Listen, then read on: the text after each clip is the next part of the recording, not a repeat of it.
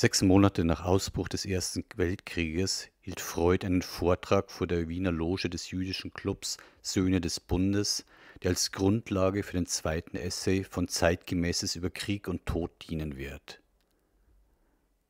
Trägt der erste Essay, dessen Zusammenfassung Sie auf diesem Kanal hören können, den doppeldeutigen Titel Die Enttäuschung des Krieges, in dem Freud weniger auf die emotionale Reaktion auf den Krieg als auf das Ende einer Illusion, nämlich dass Kriege kontrollierbar seien, verweist, so ist der zweite Essay mit der Überschrift Unser Verhältnis zum Tod versehen. Freud folgend ist unser Verhältnis zum Tod nur unter Berücksichtigung des Unbewussten zu verstehen. Erst wenn wir das Unbewusste in unser Nachdenken über die Endlichkeit der menschlichen Existenz aufnehmen, können wir unsere Beziehung zum Tod besser verstehen. Wie kommt Freud auf diesen Gedanken? Ausgangspunkt Freuds ist unsere Bezugnahme auf das endliche Leben. In dieser zeigt sich etwas äußerst Überraschendes. Anstatt den Tod als Endpunkt unseres Daseins zu begreifen, tendieren wir dazu, den Tod auszuschließen, den Tod abzusondern oder den Tod auf uns wenig erkundetes seelisches Territorium zu verbannen. Über den Tod wird so eine Art Bannfluch ausgesprochen. Dies geschieht jedoch nicht innerhalb eines ruhigen Reflektierens über den Tod, gemäß dem epikureischen Motto, mit dem Tod habe ich nichts zu schaffen. Bin ich, ist er nicht, ist er, bin ich nicht. Sondern es geschieht im Modus der Verleugnung oder vielleicht in dem selten erwähnten Phänomen der negativen Halluzination. Letzteres führt zu dem absoluten Ausschluss der Wahrnehmung von Endlichkeit des Lebens nach dem Motto Ich lebe und das ohne Ende. Diese Verweigerung der Realität steht so nach Freud unter der Herrschaft des mit reiner Positivität aufgeladenen Unbewussten. Im Unbewussten ist jeder Mensch von seiner Unsterblichkeit überzeugt.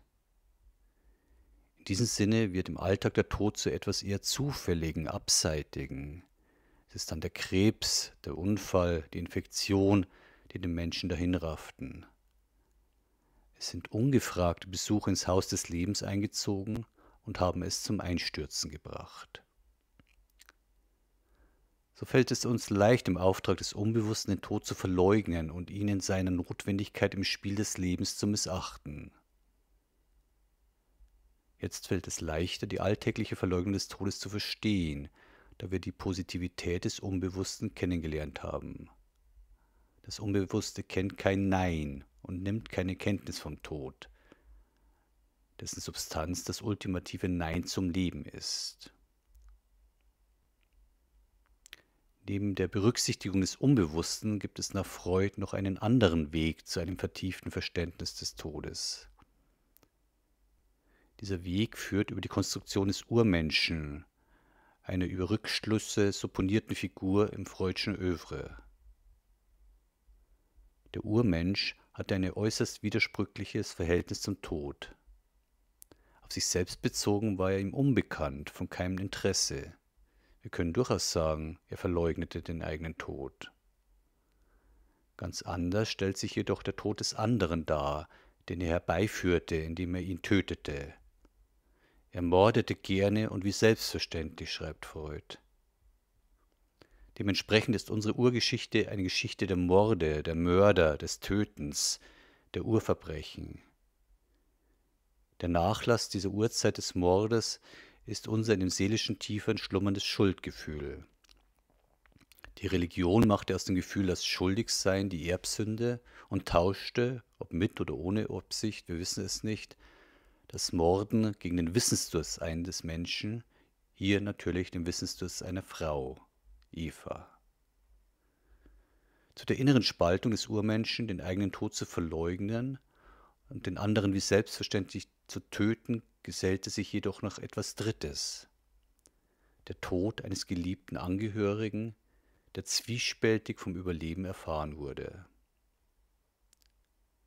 Einerseits liebt er den Verstorbenen, andererseits hasst er ihn. Diese Gefühlsambivalenz dem verstorbenen Menschen gegenüber hatte weitreichende psychohistorische Folgen. Der Konflikt aus Liebe und Hass, Zuwendung und Feindseligkeit unterlief eine kompromisshafte Lösung. Für Freud wurde an dieser Stelle Psyche und Physis separiert. Diese Trennung ermöglichte die seelische Unsterblichkeit und körperliche Sterblichkeit des Angehörigen. In der Unsterblichkeit erfüllte sich der Auftrag des Unbewussten in Form der Verleugnung des Todes. Durch das Vergehen des Leibes fand die Feindseligkeit ihren Gegenstand.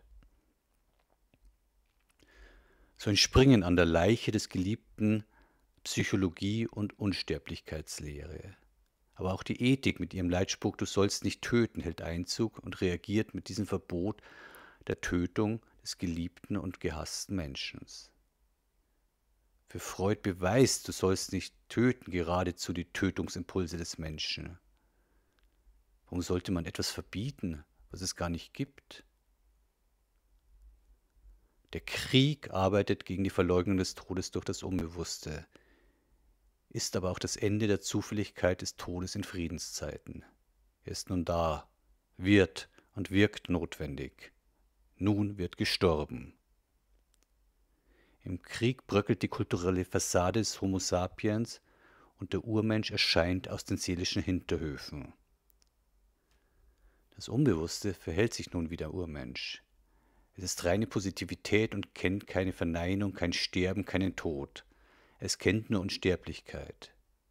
Der Held, der scheinbar hohen Idealen dient und sein Leben dabei riskiert, ist nichts weniger als ein Tollkühner im Dienste des Unbewussten. Denn keineswegs vertritt er hohe Ideale, sondern lebt sein Unbewusstes aus gemäß dem Motto, es kann dir nichts geschehen, da du ewig weiterleben wirst. In diesem Sinne gibt es auch kein Risiko. Da der Held keine Angst hat, ist er nicht mutig, auch nicht tollkühn. Er folgt einfach nur dem Ruf des Unbewussten. Es kann dir nichts geschehen. Anders als der Urmensch tötet das Unbewusste in seiner Gedankenwelt. Hol dich doch der Teufel, rufen wir in unseren Gedanken und wünschen so den Tod des anderen. Nicht der Akt, also die Verwirklichung, das Töten selbst bestimmt den Ablauf, der Akt wird zur Potenz, zum Möglichen, was nicht bedeutet, dass das Töten endet. Es wird nur ein wenig ausgebremst. Resümieren wir nun in den Worten Sigmund Freuds. Unser Unbewusstes ist gegen die Vorstellung des eigenen Todes ebenso unzugänglich, gegen den Fremden ebenso mordlustig, gegen die geliebte Person ebenso zwiespältig wie der Mensch der Urzeit. Wie weit haben wir uns aber in der konventionell kulturellen Einstellung gegen den Tod von diesen Urzuständen entfernt? Es ist leicht zu sagen, wie der Krieg in diese Entzweiung eingreift. Es streift uns die späteren Kulturlagerungen ab und lässt den Urmensch in uns wieder zum Vorschein kommen. Er zwingt uns wieder Helden zu sein, die an den eigenen Tod nicht glauben können. Er bezeichnet uns die Fremden als Feinde, deren Tod man herbeiführen und herbeiwünschen soll. Er rät uns, uns über den Tod geliebter Menschen hinwegzusetzen. Der Krieg ist aber nicht abzuschaffen. Solange die Existenzbedingungen der Völker so verschieden und die Abstoßungen unter ihnen so heftig sind, wird es Kriege geben müssen. Da hebt sich nun die Frage, sollten wir nicht diejenigen sein, die nachgeben und sich ihm anpassen, sollten wir nicht zugestehen, dass wir mit unserer kulturellen Einstellung zum Tod psychologisch wieder einmal über unseren Stand gelebt haben und vielmehr umkehren und die Wahrheit vertieren? Wäre es nicht besser, dem Tod den Platz in der Wirklichkeit in unseren Gedanken einzuräumen, der ihm gebührt, und unsere unbewusste Einstellung zum Tod, die wir bisher so sorgfältig unterdrückt haben, ein wenig mehr hervorzukehren?